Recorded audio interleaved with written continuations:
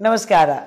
I'm Dr. Sunita Rana Agarwal from Dr. Agarwal Hospitals, 15 Eagle Street, Bangalore 25.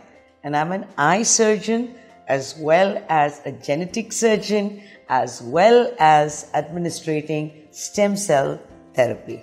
Generally, this will happen in a little aged person, and usually, this could have happened because of paralysis one of the most common causes of paralysis in elderly people or in adults is diabetes.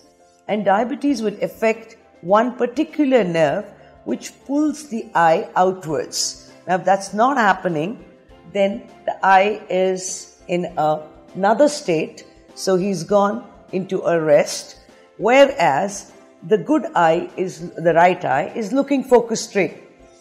The reason for the double vision is that because this has gone out, the image is falling not on the fovea or on the macula, a little away, and that place will never give us a very good vision. Good vision is only good on the macula.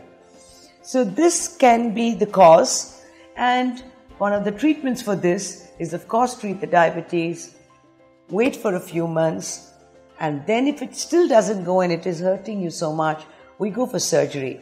However, we still have another option here where we would like to treat the patient with fetal autologous DNA treatment.